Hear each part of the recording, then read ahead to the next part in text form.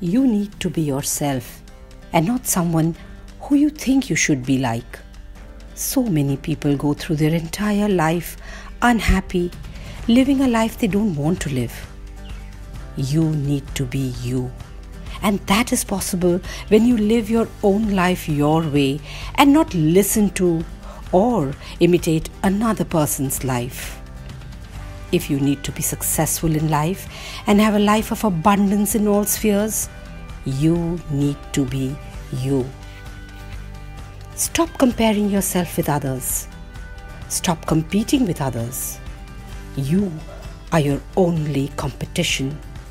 You need to be better than yourself every day.